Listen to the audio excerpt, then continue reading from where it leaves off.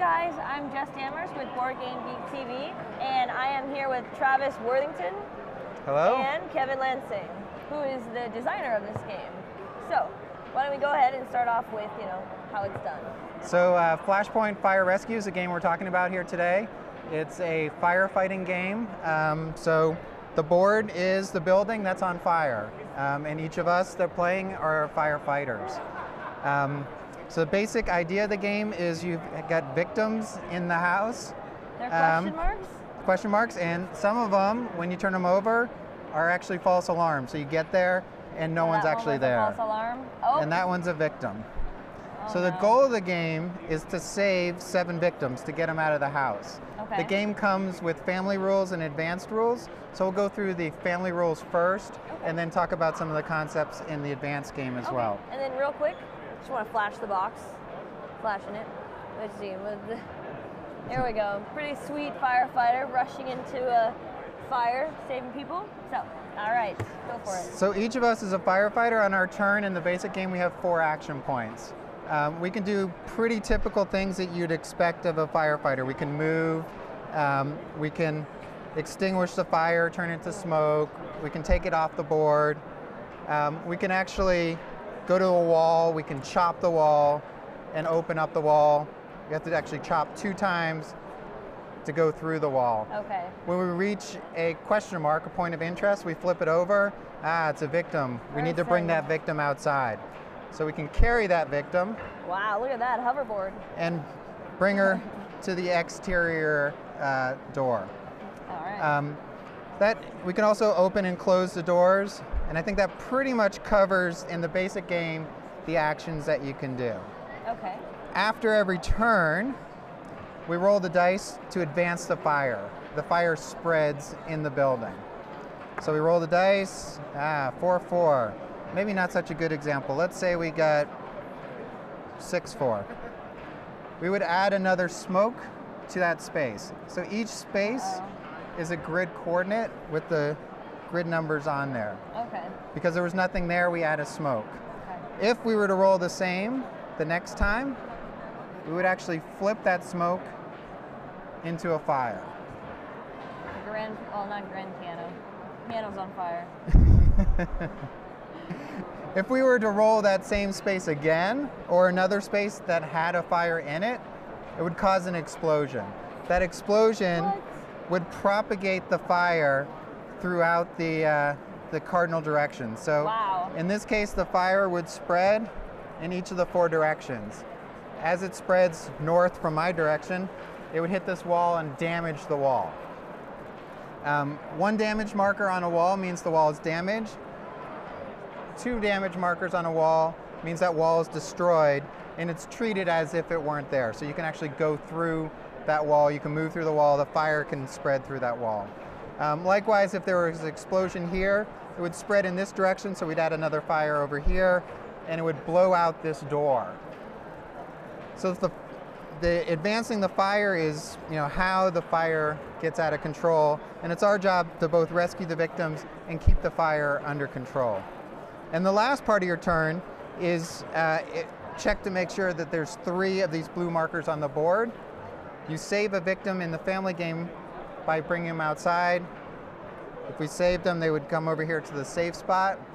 And now there's only two markers on the board, so we would roll and place another one. I like to roll 6-4. So we'd place it right here.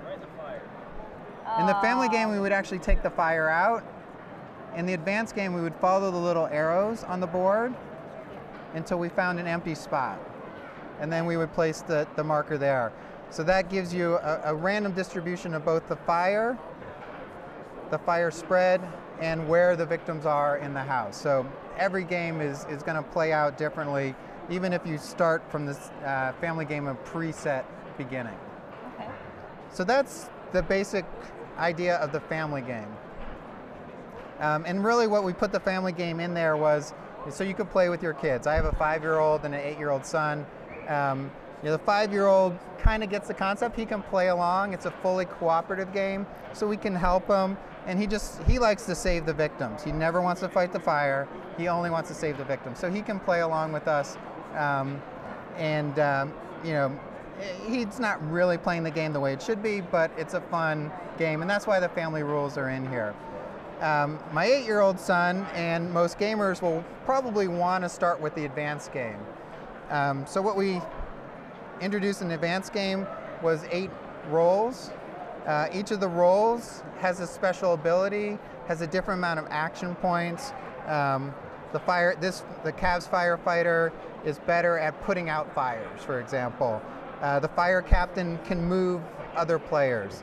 So there's eight different roles um, that do different things to help you win the game. Um, also in the advanced game, there's an ambulance and a fire truck. In the advanced game, you actually have to bring the victims, ah, another false alarm, Oh. out to the ambulance in order to save them. Okay. Can't just bring them outside. Okay. The fire truck can shoot the water cannon and put out a lot of fire at the same time. It can only target a quarter of the board. And then we roll the dice to see where it is. So in this case, the water cannon would hit this space right here and would put out in the four cardinal directions Okay. which would result in no fire being put out here. The, the person operating the fire engine wasn't so competent. No, they're not. Um, oh, one other thing I should have mentioned for both the family and the advanced game is you can actually save your actions from turn to turn. So some other cooperative games that have action point systems, you have to spend all your actions on the turn Okay. or you lose them. Right. Here, there's action point markers, so I've saved two action points and I can use those in a subsequent turn. Nice. Um, also in the advanced game is what we call hotspots. And these allow the fire to spread uh, more quickly. It makes it, the advanced game more difficult.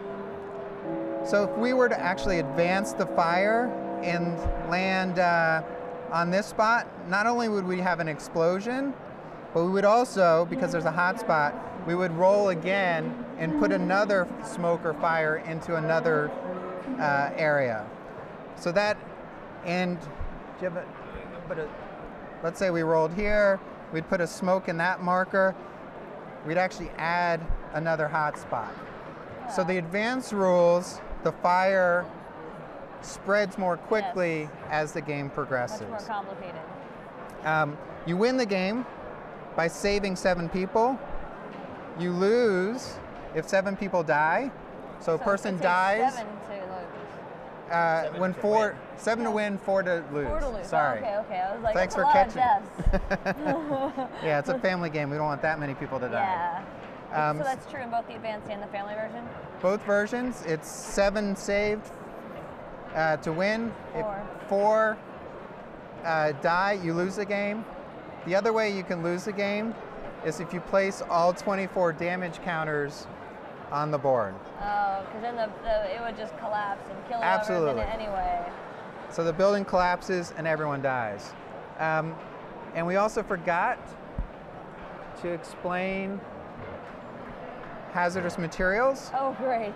So in the in the house are flammable liquids. I don't know what they're doing there, but What? Yeah. What? as the fire advances, Oh, I left my gasoline tank in my house again. absolutely. Kevin Kevin has some devious ideas. So Um, they're hiding, or well, so if the fire advances on the uh, hazardous material, it causes an explosion in that square, okay. and it also adds Oh my goodness. a hot spot. So hazardous materials. really quickly. Absolutely, absolutely. And that's the fun part of the game because there's uh, some random elements. You never know what's going to happen. So when you're playing with hotspots, especially if you're playing at the highest level, which we call heroic level, there can be up to 16 hotspots on the board. Actually, more than that. Yeah, I think 22. I can't remember though. This is seeming pretty grim. Yeah, and in the fire, you can be one turn away from winning the game and have everything go bad on you. So, you know, when you're rolling the dice, you're like, oh no, what am I going to roll? Oh man. So, I think it's a it's a great game to play. I enjoy it with my family. I enjoy playing it with uh, at the higher levels with you know people that like to play games, the gamers. Um, so I think it's got a, a, a wide audience. Uh, we've we've sold out all the copies we brought here at Essen.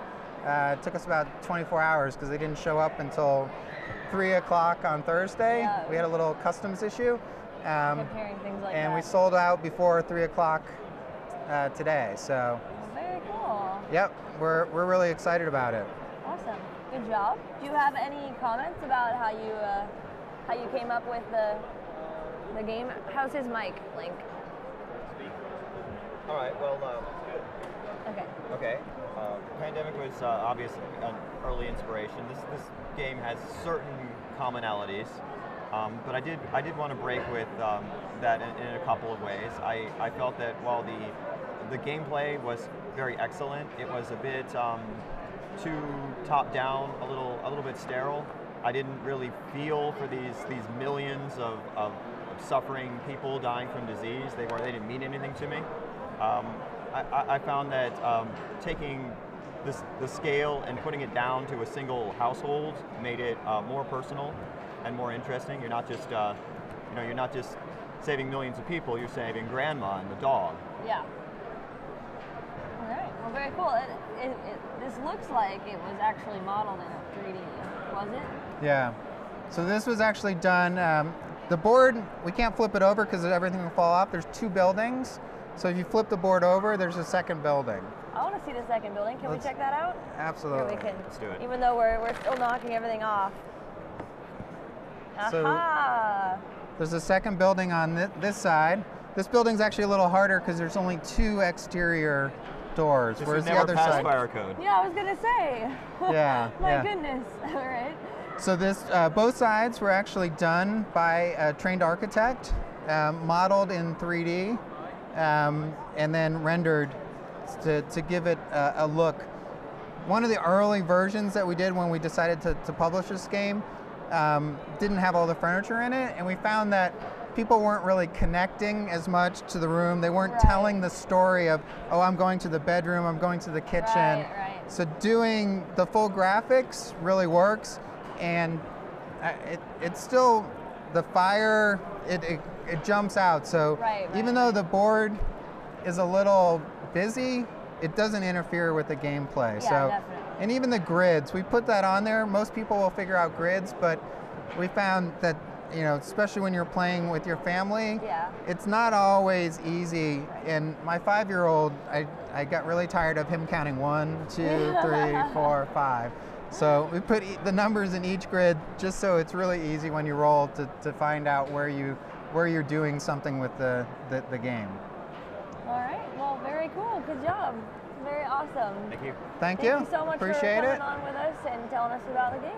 Yep, and thanks to everyone that supported it on Kickstarter. Your copies will be to your house probably like three weeks, I think, in the U.S. Are they gonna get? They're not gonna get stuck in customs again, right? No, no, they're coming to the Fingers U.S. Okay. they're Well, fingers a little, crossed. little si- simpler, I hope. I All hope. right. Well, awesome. Thank you again. Thank you. Appreciate it. All right.